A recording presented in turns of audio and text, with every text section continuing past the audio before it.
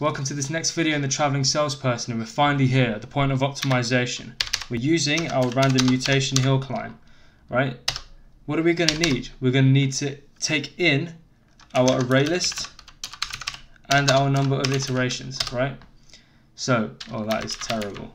So we're going to need to take in our array list and our number of iterations. What are we going to need out? We're going to need our fitness, right? So we want to have a look at our fitness and potentially we might want a system.out.println our solution. Solution, right?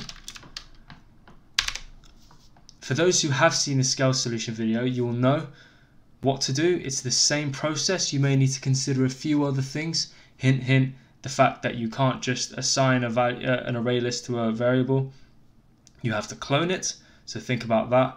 And we may need to use a few new functions. So for those who uh, who uh, have had a look into this and have had a look into the random hill climb, you know what to do. So if I were you, pause the video now and have a go. And for those who haven't actually looked into how to do this properly, what you're going to be doing is getting your random uh, route that we've created up here, assessing its fitness.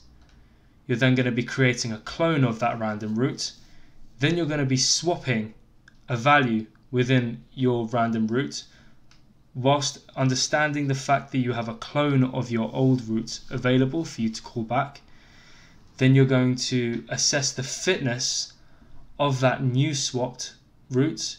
And if the fitness of that new swapped route is higher than the old route, you're going to call that cloned route back. So you're going to call the old route back and reject the new route. In the same way as if you're going to have the new route less than the old route, you're going to adopt the new route, right? So give that a go and I'll come back with the solution for you. Right, so here we are. Uh, we're at the random mutation hill climb optimization algorithm. So we're reading our TSP file right here. So we're, you know, we don't need to take it in as a parameter. We're getting the route, the size of the array and end fitness just so we can have a look at the fitness at the end. So in our for loop, we're going from zero to the iterations, so the number of iterations we specify. By the way, um, quick point that we want to make about that, we're looking anywhere between 100,000 and a million iterations when we try it. So we're going up um, to the number of iterations and we're getting our old fitness, right? So we're getting our old fitness using the size of the array, our passed in array list route, and our read array file, right? So these are the three parameters that we needed for our fitness. I'll just remind us up here. Yep. So we're going to be getting our old fitness and then what we're going to do is create an array list called old route and create a clone of this route. so we can call it back if need be. I'm then setting that route, right? It's only what, uh, what, me, what might be described as a completely useless method as this route, right? Just, just so I know that I've stored that route somewhere. Then what we're doing is creating a new route and passing this route through the swap function. So it's going to swap two indexes together. So just how we've described before. And then we're going to create a new fitness based on the new route, right? So we're going to assess the fitness of this new route.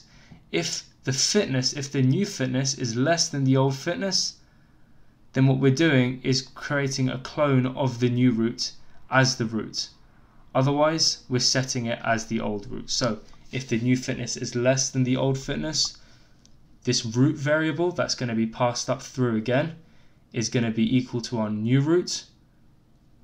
Otherwise, our old route is called back. So if our old route is better, it's being called back.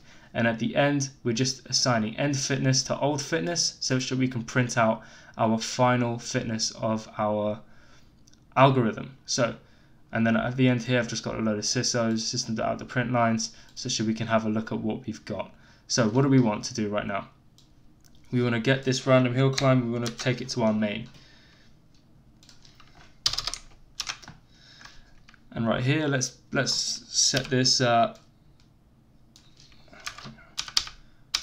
hundred thousands. And for this array list right here, let's put round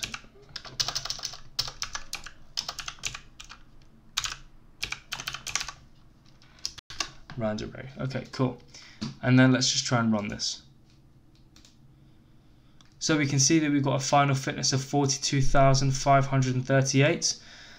Um, at the moment, I don't have the time to release a video on simulated annealing. I will have a look if I can between now and tomorrow.